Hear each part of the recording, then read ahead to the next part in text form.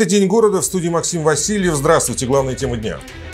Без мобилизации, но с мыслями о победе. Больше четырех часов президент России Владимир Путин отвечал на вопросы граждан страны. Вот она есть, а теперь ее нет. Сотрудники Россельхознадзора нашли такие фантомные производства.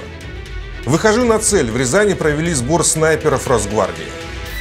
4 часа 4 минуты длилась ежегодная большая пресс-конференция Владимира Путина. За это время президент России ответил на 67 вопросов, основные темы проведения СВО, поддержка сельского хозяйства, да и в целом экономическая безопасность страны. Были, впрочем, и заявления новостной повестки. Укрепление суверенитета для России – жизненная необходимость. Это касается и вопросов безопасности и экономической самостоятельности. Ну, конечно, проведение специальной военной операции сегодня тема номер один. Главный вопрос, ответ на который жители хотели получить непосредственно от Владимира Путина – будет ли вторая волна мобилизации? Президент ответил, исходя из сегодняшнего дня. Мы э, начали достаточно широкую кампанию по, по привлечению людей на добровольной основе к заключению контрактов с вооруженными силами. На, и да, и планировали э, к концу года набрать, по-моему, 412, ну, 400 тысяч с небольшим.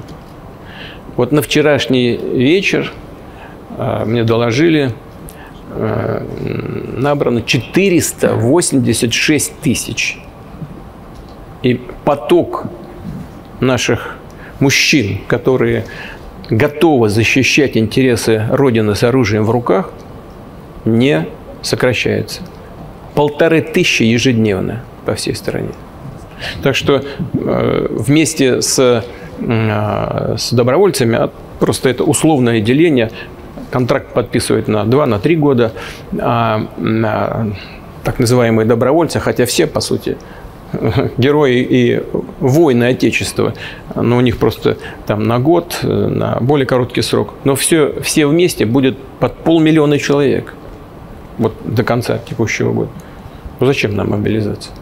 Поэтому на сегодняшний день никакой необходимости в этом нет. Вопрос инфляции и роста тарифов в сфере ЖКХ – то, что волнует сегодня людей в регионах. Индексация пенсий в следующем году будет на 7,5%, тогда как тарифы вырастут на 9-14%. Не забывайте про предыдущее повышение, ответил президент. Общая сумма увеличения пенсий составит 23%. Остальные цифры Владимир Путин тоже разложил по полочкам. Действуют правила в соответствии с законом, согласно которому, если расходы семьи на на уплату э, ЖКХ превышают 22%, то семья имеет право на получение субсидии.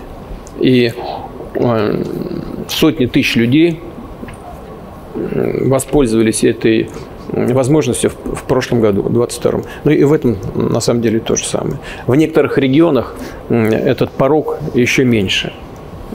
Не 22%, а если э, семья тратит там 15, там, не знаю, 20% уже положена субсидия. Но, но, повторяю еще раз, посмотрим, что конкретно, какое соотношение этих параметров в Новосибирской области. Это я обязательно, обязательно сделаю, обещаю. А, а вот разве это правильно, что за примитивную услугу а, оплаты услуг ЖКХ нужно еще платить комиссию банку? Много таких вопросов. Это неправильно, особенно если это касается пенсионеров. Э, и вот решение только что принято, э, комиссия э, уплачиваться пенсионерами не будет. Главный вопрос в сфере здравоохранения – кадровый. Впрочем, врачей не хватает сегодня по всей стране. Для молодых специалистов и так есть льготы и подъемные, тем не менее суммы увеличат. По поводу создания дополнительных стимулов. Если заработная плата конкурентоспособна, как вот доктор сказал, то вот что нужно, э, что шум брат Шумбрат – это по-мордовски, значит, здрасте. Да, я сейчас, сейчас отвечу, да. Вот, а, значит, э, что нужно сделать? Нужно, может быть, так же, как на Дальнем Востоке, тоже повысить, повысить первоначальные подъемные для земского доктора, для докторов до 2 миллионов рублей, а для фельдшеров до миллиона рублей – и это будет, мне кажется, хорошим стимулом. Я обязательно с правительством это проговорю. Бюджет принят, но тем не менее мы можем подумать и сформулировать эти решения на на самую ближайшую перспективу. На вопросы из Блица Владимир Путин ответил искренне. Возле себя он держит томик Лермонтова, хотя читать будет уголовный кодекс. В сфере искусственного интеллекта стране нужно стать лидером, а главный совет подрастающему поколению – беречь честь с молоду.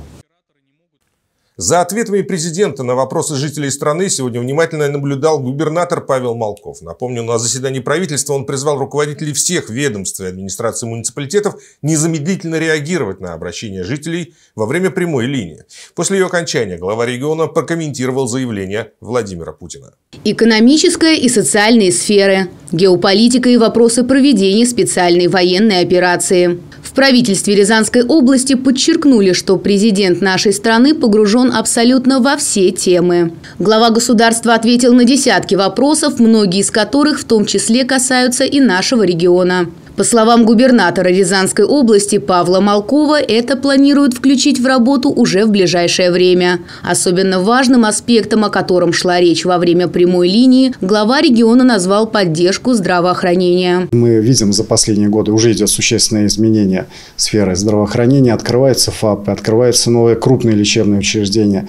Ведется ремонт и модернизация медицинских центров, которые работали раньше. Ну, буквально каждое звено, каждое направление сейчас не остается без внимания. Поставляется новая машина скорой медицинской помощи, новая техника, оборудование от самого тяжелого и важного до оборудования, которое используется в ежедневной работе э, десятками и сотнями бригад врачей. И результат подобной работы уже есть. Для сравнения, ожидаемая продолжительность жизни в регионе с 2021 года выросла на 5 пунктов, и сейчас она порядка 73 лет. Особое внимание уделяют в регионе и мерам поддержки участников специальной военной операции. По итогам пресс-конференции и прямой линии правительство Рязанской области планирует разработать новый законопроект по дополнительным выплатам за ранения всем категориям добровольцев. Сейчас уже есть конкретные решения и предложения по поддержке участников специальной военной операции. У нас в регионе в целом действует очень широкий комплекс мер. И мы уже здесь во время проведения э, прямой линии пресс-конференции решили, что распространим все эти выплаты, которые есть у нас в регионе, в том числе и на участников э, частных военных компаний. По словам Павла Малкова, несмотря на проведение специальной военной операции, экономические показатели Рязанской области оптимистичны. Ожидаемые цифры по итогам года – рост ВРП примерно на 3%, индекс промышленности на 7%, сфера АПК – 1,5%. 2%. И регион в этом будет только прибавлять. Кристина Бочкарева, телекомпания «Город». А вот вмешательство президента в работу регионального Россельхознадзора не потребовалось. В Рязани выявили так называемую фантомную площадку по производству сыра и сливочного масла. Какое наказание за фальсификацию грозит пронырливым коммерсантам, расскажем далее. Схема, говорят сотрудники управления Россельхознадзора, не нова. Фантомная площадка – история отработанная. Появляется где-нибудь, становится точкой в производственном процессе, а после может неожиданно исчезнуть. Объясним на недавнем примере. В декабре 2023 года управлением Россельхознадзора при проведении мониторинга Федеральной государственной информационной системы «Меркурий» установлен факт осуществления производства сыра и сливочного масла на фантомной площадке ООО «Сервис Плюс».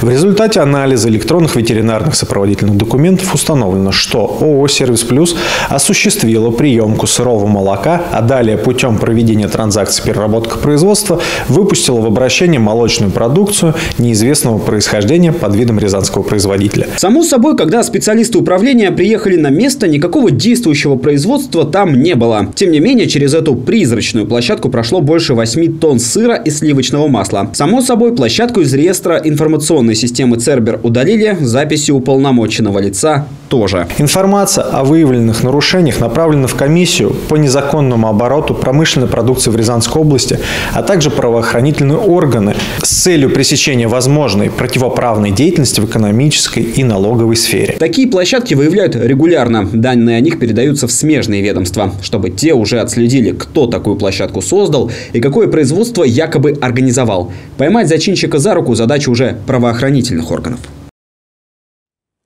Больше полутора тысяч льготников в Рязанской области бесплатно съездили на лечение по электронным билетам. Льготный проезд входит в набор социальных услуг. Его предоставляют гражданам с инвалидностью, ветеранам, людям, пострадавшим от воздействия радиации. Возможные маршруты исследования и виды транспорта для поездок к месту лечения определяются в соответствии с законом. Региональное отделение Социального фонда России оформляет бесплатный проезд вместе с путевкой в санатории или при направлении на лечение. Гражданам выдаются талоны, которые нужно предоставить в кассе при оформлении билета. Билет можно заказать и онлайн.